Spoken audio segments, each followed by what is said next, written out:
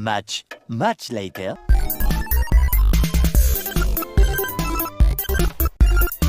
Much, much, much later.